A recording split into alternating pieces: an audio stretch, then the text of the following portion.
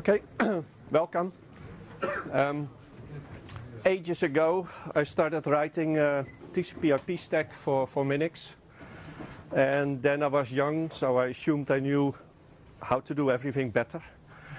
Um, so I did a lot of stuff different from, well, the then current uh, uh, BSD stack that everybody used. And, well, some things that I still like and other things that proved out to be not very successful. So this talk will go over lots of different topics and see some things are well, sort of caused by Minix and some of the things I came up with uh, myself just in writing this deck. Um, so um, after I was done uh, with my master's, I went to Andy Tanenbaum and said, well, I want to be PhD student. And he basically said, well, go away, a fool, uh, don't know you, etc and then talked to some other people and decided, well, I really want to be Andy's PhD student, so I have to do some stuff to impress him. And one of the things I did was write uh, this PIP stack. And, well, of course, Minix um, is uh, used, uh, was used a lot for teaching. So there's a book that describes basically every line of source in Minix, and you can't just say, okay, I rewrite complete file system to, to match my, to introduce sockets and, and stuff like that. Um, so, so it had to be uh, really minimal, and then the, the easiest way to, to add a networking to Minix while keeping it minimal was to basically present it as a device driver. And in Minix there was already, of course, a messaging protocol to talk to device drivers, which were in the kernel. So then if you could just run a separate task that is then the networking device driver, then well, that can work. And so you get, instead of the normal socket calls, you get open, close, read, write, and I.O. control as basic primitives that you need for uh, accessing a network device. Um, and then I thought, well, um, instead of having a completely messed up internal structure where everybody calls each other, etc. I want to keep the same structure uh, internally, even though, I mean, everybody says, well, you, you shouldn't build layered uh, implementations, even if the network uh, stack is layered. Uh, I had sort of in the back of my mind, like maybe if it's really successful and you can write a new book and then describe this source code. Um, and uh, problem for, with IP is that you, you have to work really hard to get it to work. There are all kinds of subtle layering violations. So in that sense, it's a good exercise to force you um, to, to really have a TCP uh, layer that, that calls open, close, etc. on an IP layer and then try to formalize all those interactions. But the problem was that um, it led to a really complex callback structure because Minix doesn't have threads, so, so, so you have to uh, write it as one big state machine, and that became a mess. And then um, one of the things that early on I didn't know, and that, well, for a long time many people didn't know, is that if the network is full, then you should not buffer packets. I mean, these days you call it uh, buffer bloat. Um, but at some point I figured out, like, well, if, if, if TCP generates packets and then IP tries to pass it to the Ethernet device, and the Ethernet device is slow, then you buffer them essentially everywhere. But you can also not do that and just say, well, there's no uh, room for packets now, go away. And then you can have a nice non-blocking send. That simplifies code a lot. And you get the same thing for receive. So instead of doing read, then get a call back, and then you have to do a new read, you can also say, well, keep on sending me packets, only use this callback. Uh, it gives a much better structure. So that's, um, that works quite well now.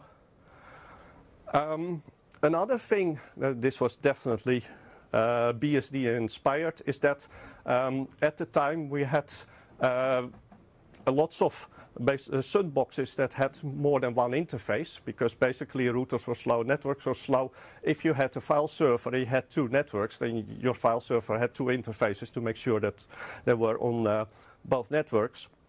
Um, except that then, because of the, the loose multi-homing, you could easily have uh, an application that would receive a packet over one Ethernet and then send it back over the other, because, well, uh, who cares where it goes in and out?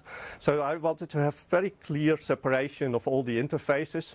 Um, and uh, uh, Minix in my stack uh, packets just don't go from, from one interface to another unless you explicitly define that as routing. Um, but it has one big drawback, of course, because instead of being able to, to bind to star and just get packets whatever interface they come from, you now have to enumerate all the interfaces and do that, uh, which has an advantage that you can also say, well, I don't want this service to run on that interface because then you don't do it. Um, but so that's it's a nice feature. Also adds annoying complications. Um, then this really got me in trouble because uh, because there was sort of not this uh, multi-homing, you couldn't have the traditional loopback device. Well, you can create one, but packets will never go there. Um, but you still have to support uh, the loopback IP address. And for IPv4, certainly in those days, it was not really common to have multiple IP addresses per interface, and it would probably look weird if all interfaces also had the loopback IP address. Um, so I came up with a hack is that when you try to send a packet and you detect that it goes to the loopback, then you just switch source and destination address and then you send it back up the stack. Because then every application will think, I'm talking well, with my local IP address, and it's just that the remote is is is uh, is funny. That's loopback, but yeah, who cares about that? So um, works well is is sort of confusing. Um, here complexity really got out of hand. This was sort of like, well, if you have an application that sends traffic, then, well, you send it to a default router or something like that. Um, so you need, well, to have a, a, simple routing table for that, certainly if you have multiple routers or redirect and stuff like that. And then you effectively have one per interface because, well, the, all the interfaces are strictly separated. Um, but if you then make it into a router, then you also have to have a routing table that describes, well, if, if a packet comes from interface A, then where should it go on interface B? And I made that completely separate routing tables, um, which then get very confusing because it's possible that you are a router, but that your applications will send traffic to a default router, uh, default router, because this first output routing table points to a different router than yourself. Uh, so certainly um, for IPv6, I tried to just follow the RFC and just didn't do that anymore.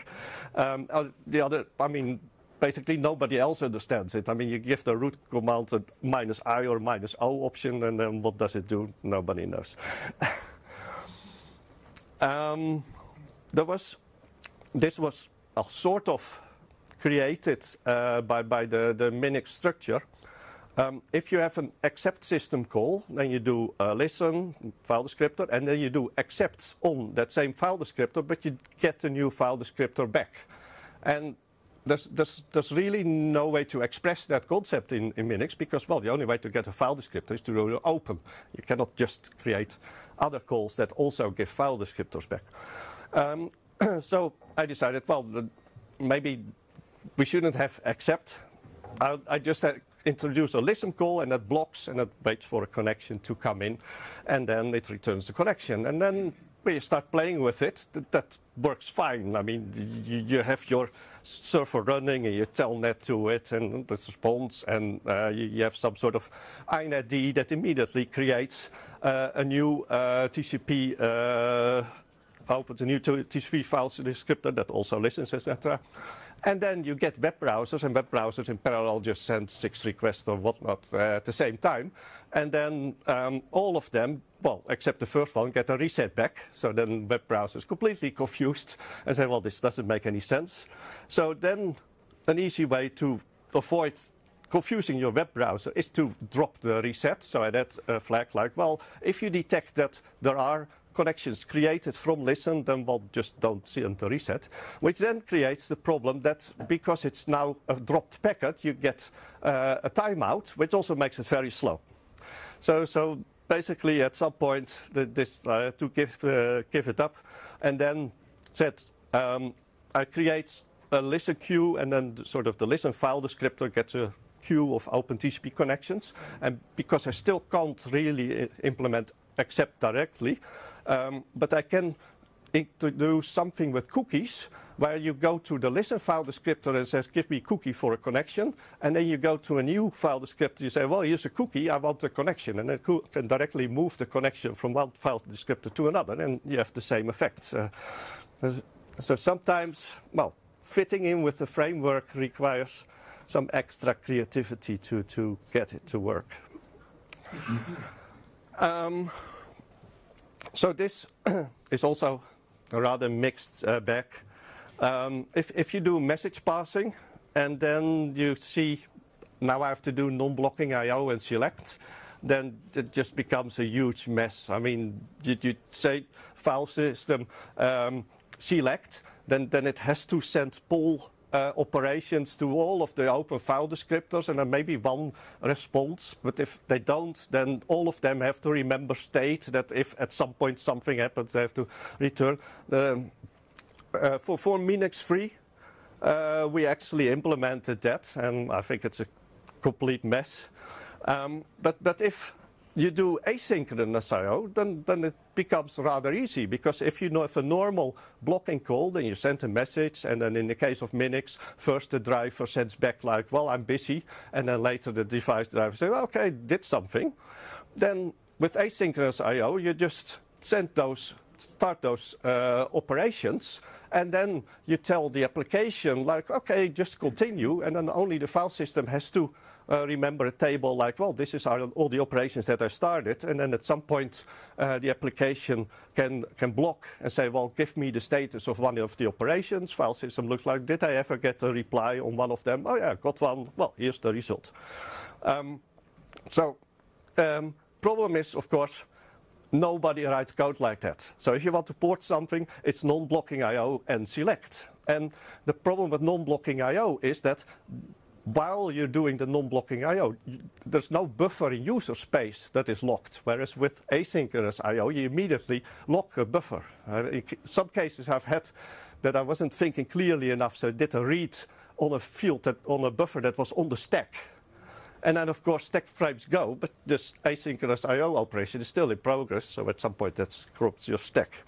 Um, so basically, yeah, porting then means either write a complete non-blocking I.O. Uh, library uh, in user space, which I did, which sort of works, or rewrite the main loop of uh, software such that it becomes asynchronous.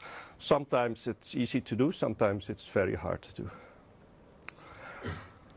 Um, here are two examples of stuff you should just really not do ever.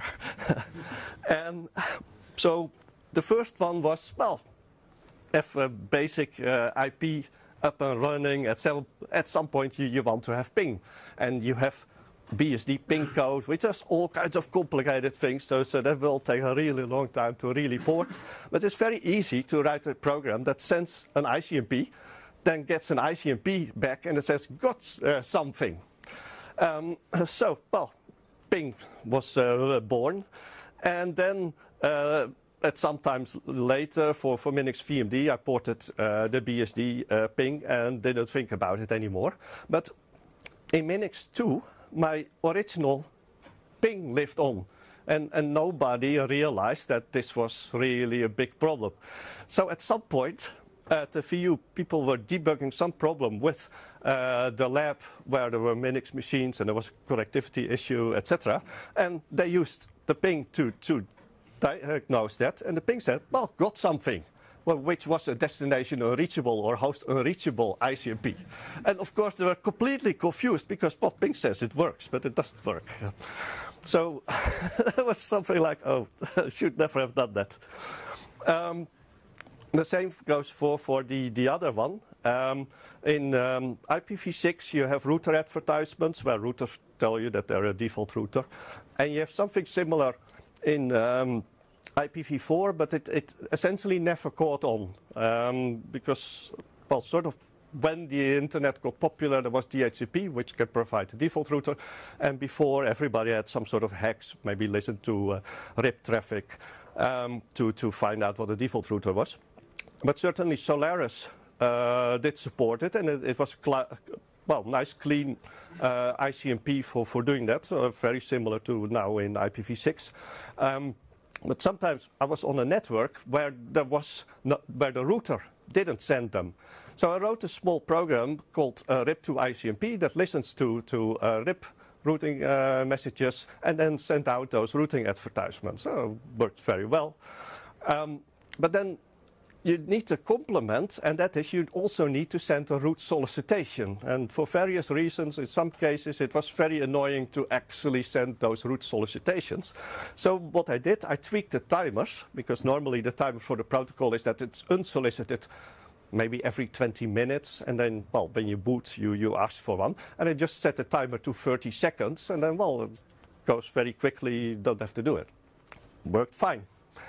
Um, there was one other part of the protocol, and that said, well, when does it expire? Well, it expires at about two or three times the lifetime that is advertised, and that was uh, advertising every 30 seconds. So at some point, one of the Minix machines was turned on on a network with Solaris machines, and then it was usually turned on for the whole working day. So, so at sort of six in the evening, a whole bunch of Solaris machines lost their default route. And because they got those ICMPs for minutes, they said, well, timeout is a few minutes, so after that is gone. And then sort of, the, the, there was a, also one every 20 minutes, but yeah, of course, that took a while for it to arrive. That took the guy who had to debug that forever, because how do you find out why a host deletes a default route? It will never tell you about that internal timer state. I mean, it, maybe one of the big things in lots of networking stacks is that they don't expose those details. So, yeah, the, the sort of most horrible things that happened.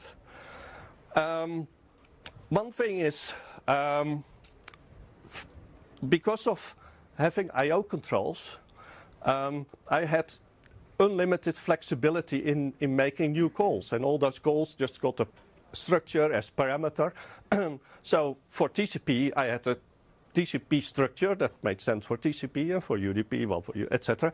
Whereas normal sockets are have worked very hard to have a connect that does something sensible both for TCP and UDP. And you have uh, various things like uh, receive messages that are carefully defined for all the protocols. Um, and then if, if you sort of have no generic uh, calls whatsoever and you try to write a socket emulation library, then it becomes very complex because you get in a file descriptor, then you first have to try to figure out whether it's TCP or UDP and then do the appropriate action. Um, and, and one of the, the, the sad things here is that last year the Minix 3 project decided to replace INET with lightweight IP because they want to have sort of full NetBSD compatibility and decided that, well, trying to map that onto uh, INET was basically impossible. I, think would have been not that hard to just add the generic calls, but uh, that sounds uh, a bit sad. Um, but it, it, it, it certainly makes uh, porting applications uh, a lot harder. Um, and, but, and surprisingly, it doesn't make it hard enough that I actually ever bothered to, to make those calls because I know it can be done, but it seems always easier to just change uh, an application a bit to use what I want to have than to, to, to really fix it. Um, one thing that I sort of got right early on was, was you need to have, well, of course, some, some buffer data structures for storing stuff. And I came up with um, you have um, buffers that have uh, reference counts um, after first port uh, to, to another system. I had to have them of uh, different sizes. So originally started buffers of 512 bytes because then three of them could contain exactly an Ethernet packet, maximum size Ethernet packet. And, and in 16-bit Minix, you don't want to waste any uh, memory. And later I had to add at least bigger buffers to because they had to be contiguous. And then I had a small access data structure that you can use to, to link those buffers, but to also slice them to basically say it started this, this length. Also reference counted, and it sort of worked forever um, since the beginning. So that, that's sort of amazed that I sort of got that right in one go. Um, then there's sort of things that were a good idea at the time. Um, well, still sort of a good idea, but, but also confusing. Um, one thing I thought is, well, if, if you have your application starts and uh, there is no IPv4 address, then, then, maybe it's very annoying if you ask for the IP address and, and you get that there's no IP address because, yeah, what do you do? So I decided, well, if there's no IP address, then we can just block everything until an IP address arrives. And well, it's completely transparent. And by and large, it works, except that if you have in sort of your RC script something that does something with the network, and you don't get an IP address, then basically the whole thing hangs and you have to work around that and stuff. Um, so certainly didn't do that anymore for, for IPv6. Uh, not, still don't know if it, it, was a good or not a good idea to do it for v4. Um, what I did for IPv6 was that um, there's now a concept uh, that you can have multiple upstream routers and in IPv6 you can have uh, multiple prefixes on your network, but it's possible that one upstream router only supports one set of source addresses. So they call that source dest routing. Um, and I wanted to play with that, so I made sure that for IPv6 all of the internal routing tables also contained a source prefix to, to make that matching possible. And then I wanted to have a routing protocol that did that, but the only routing protocol I ever implemented uh, was RIP. And there was basically there's no way to in, uh, extend RIP v6, um, but there were some spare bits that you could hack. So I, I created for myself uh, an extension that could also have those source prefixes. And then, because, well, mostly at my home, I only have uh, routers uh, based on, uh, on Minix. That worked fine until at some point I wanted to have a wireless access point that should also do v6. And then suddenly all kinds of weird things started happening because, well, it didn't understand this particular RIP and was just sending packets to the wrong router. And then the router complains like, well, I got a packet from that router, but it shouldn't be here. That must be a stupid router. And um, so, so there, well, you can create non-standard extensions, but yeah, it, it, can come back to bite you.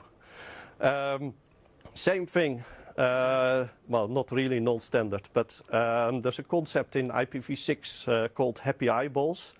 And that was basically lots of people had IPv6 turned on, but because no web server ever had an IPv6 address, nobody noticed that they had a broken IPv6 configuration until, well, say maybe Google would start using IPv6.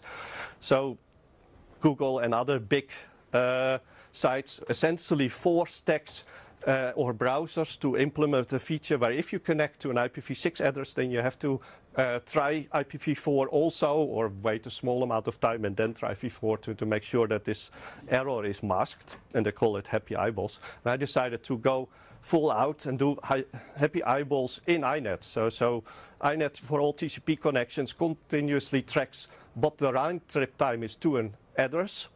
And then there's an extra call that you say, well, I got the following five addresses. Can you tell me sort of what the round trip is? And then you can implement this. And then um, I decided, well, I don't really have a web browser, I can make a proxy, but I do have a mail server, so I added that to my outgoing mail, but then it uses sometimes v4, sometimes v6, and it's sort of very confusing about what it decides that it should do or should not do. Um, yeah, that leads to things that where you don't understand your system anymore.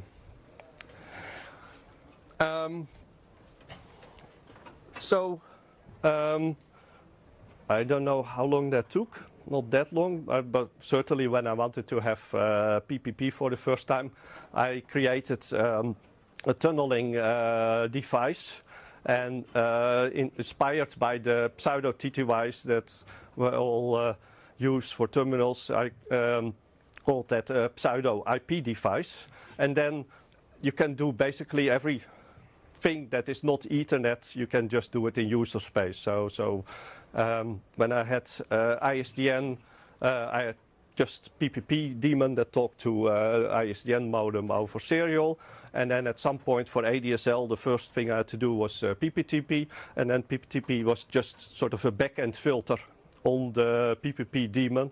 And later when that became PPP OE, then you can do the same thing um, same thing I did for IPv6 with the, the tunneling things. Uh, and then uh, somebody at also at some point wrote a VPN implementation using the, the same interface.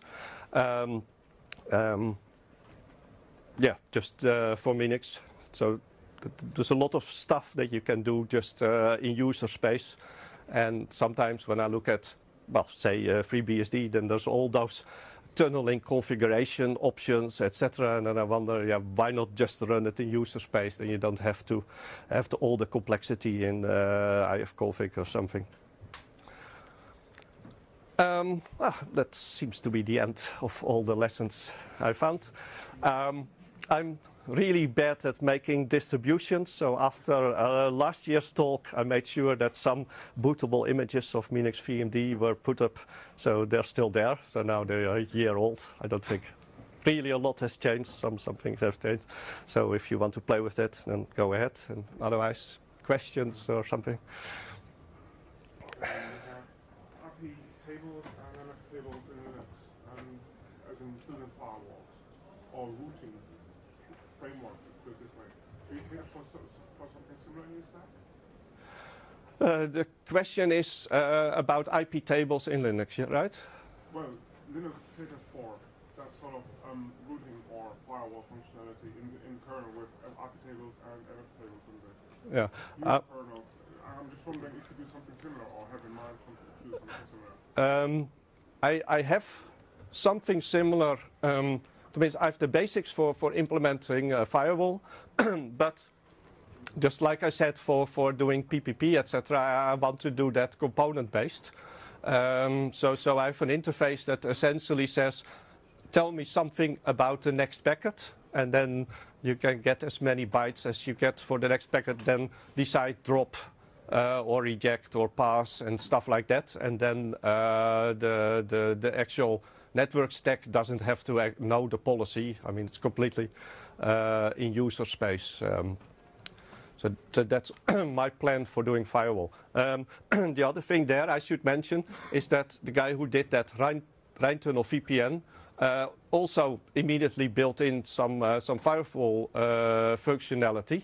And then when I started doing IPv6, then it was well nobody's doing IPv6 anyhow, so uh, we don't need a firewall yet. Um, so, so it's it's only sort of in the last couple of years that it's sort of more pressing. Like, okay, I should really do the IPv6, the firewall, to make sure that IPv6 has a firewall, because for IPv4 I already have that built into the VPN. Uh,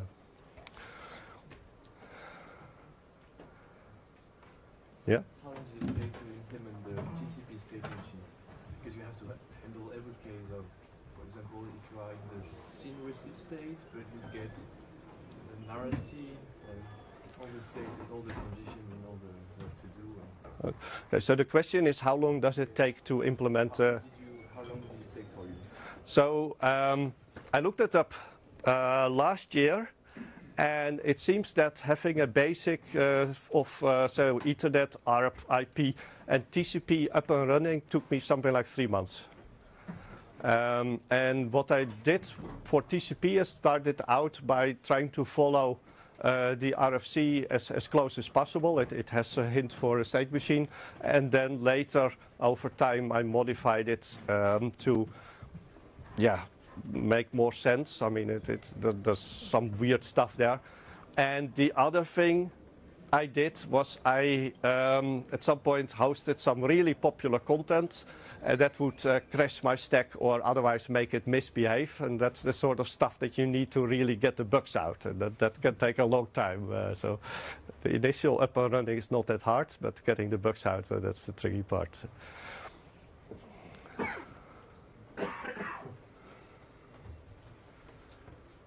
No more questions? Oh, there. Uh, this is uh, uh, INET for, for Minix VMD, right? Um, sort of both. Um, currently, uh, Minix 3 still ships with INET, except that they never bothered uh, to update it, so it do, doesn't do IPv6.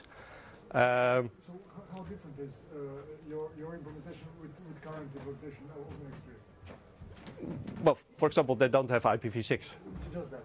Um, well, I don't know when I last worked on it, so maybe it was nine years ago that I was at the VU working on Minix. So that would be the last time that it was synchronized, and everything that has happened in the past nine years is not here. But these days I have so many other things to do that, that I don't spend a lot of time. So, so the main thing that I really did is IPv6, and I did sort of the, the firewalling stuff and maybe some other small things. Uh, yeah.